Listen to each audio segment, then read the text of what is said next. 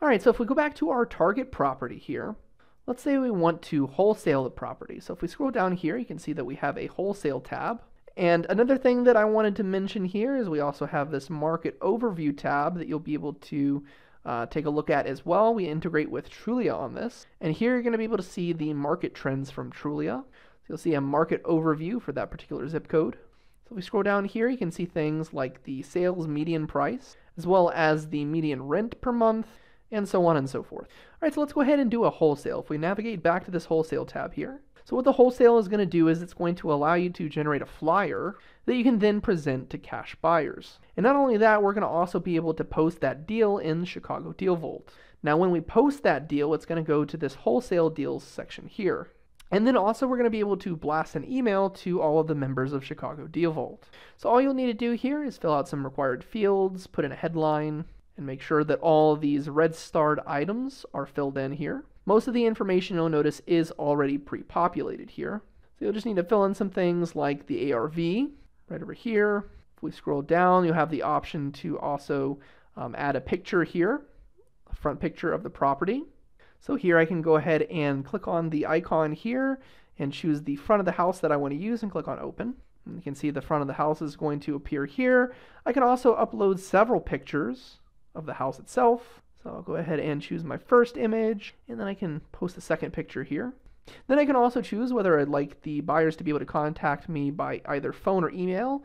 If I click on this communication channel option here, it's going to select both for me. All right, so then at the bottom here, if I click on this generate button, it's actually going to generate a report. So I'm going to save that. And here you can see what the report is actually going to look like. So it's going to have the picture of the front of the house, all the information. It's going to have all the information that you filled in.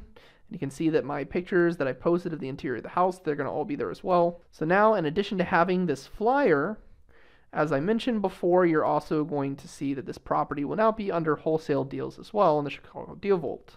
So this is going to be visible to all investors in the Chicago Deal Vault. Okay, so if I go back to my page here where I just generated that report, if I click on post a property, you can see here that you're going to get a confirmation that the wholesale deal was successfully saved. If I navigate to my wholesale deals, you can see that the property I just posted is now listed here, and I can go ahead and click on it. And here is that listing that I just created with the picture that I uploaded and the information and details that uh, I had filled in. So now you'll be able to wholesale this property.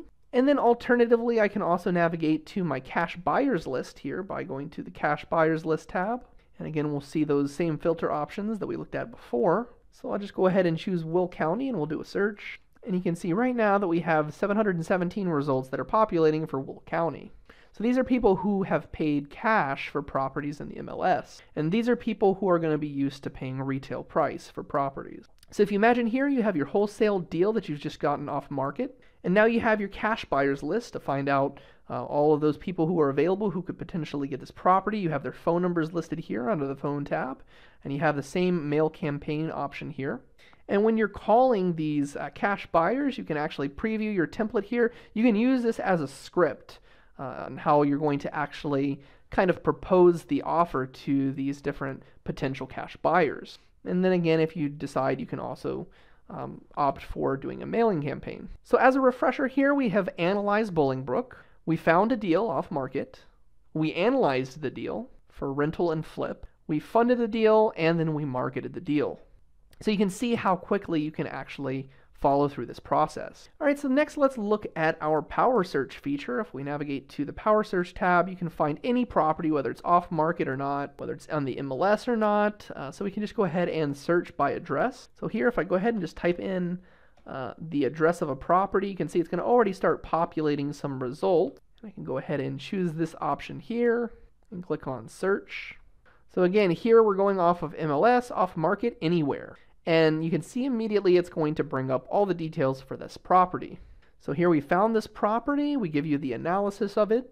Okay, and next let's go ahead and search the MLS. If I go to my MLS search here, uh, you have access to the MLS Live. You'll have a number of different sorting options, so I can go and sort by, uh, again, city, as we've already seen before. And then in addition, I can put in zip codes, choose my price range, choose listing status, property types, and then click on Find Deals to see my options. And here you can see um, all of your different options. You'll be able to sort uh, using a variety of different criterias. And I can also, of course, here you can see that I have a number of different sold options. If I don't want to see all of the sold listings, I can just remove that option and click on find deals again. So I can look through here and find my different properties that I want to search for. So you can see it's very easy to find properties here as well. And then finally, again, if we look at our off-market property options, uh, you have a separate option for each different kind of property. So if you want to look at probates, your uh, pre-foreclosures, which we already looked at, upcoming auctions, your shadow inventory, evictions, and again, our wholesale deals, which we looked at earlier. So at Chicago Deal Vault, there are many, many different options to be able to find the properties that you want to search for. You'll be able to find great deals. You'll be able to analyze those deals. You'll be able to find lenders to fund your deals. And then you'll be able to easily find cash buyers when you're ready to flip your deal. So that covers the most important aspects here of Chicago Deal Vault. Again, at any time, you can navigate to our training section to see more detailed videos and information to help you along the process. That concludes our walkthrough through Chicago Deal Vault. Thanks for watching.